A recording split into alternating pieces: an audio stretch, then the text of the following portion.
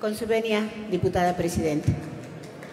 Compañeras y compañeros diputados, hago uso de esta tribuna con la, con la finalidad de presentar una propuesta de reforma y adición a la Ley para la Reconstrucción Integral de la Ciudad de México.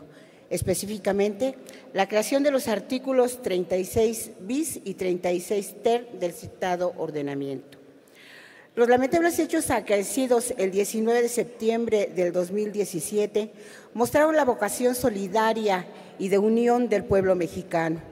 Por su parte, las autoridades ahora tienen el deber de reconstruir nuestra dañada ciudad. Es un hecho conocido lo accidentado del terreno sobre el que se asienta nuestra urbe. Estamos rodeados de cordilleras, nos encontramos sobre un lago y tenemos una zona volcánica activa, situación por la cual los sismos son un fenómeno cotidiano para los capitalinos.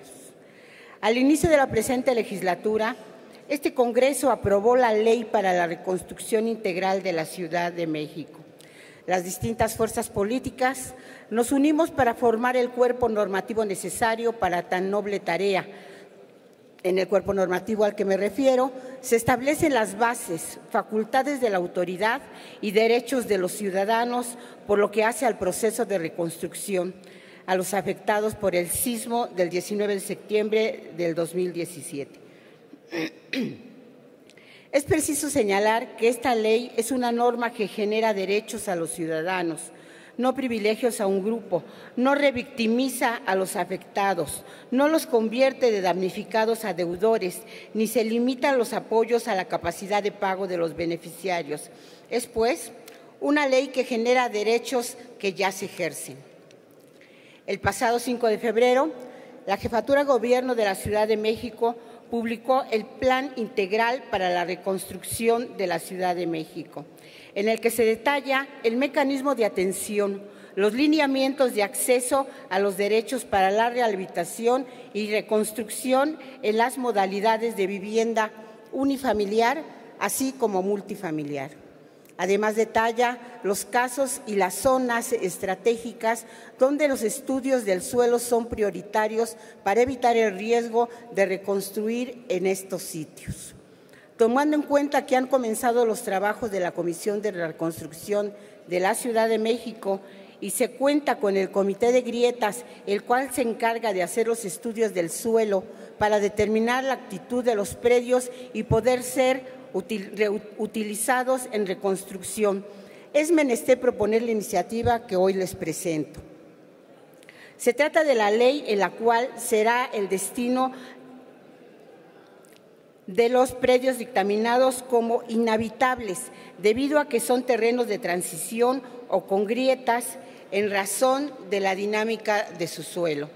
Puntualmente, lo que se propone es que una vez reubicados los antiguos habitantes de los mismos, estos sitios sean declarados como zonas de valor ambiental.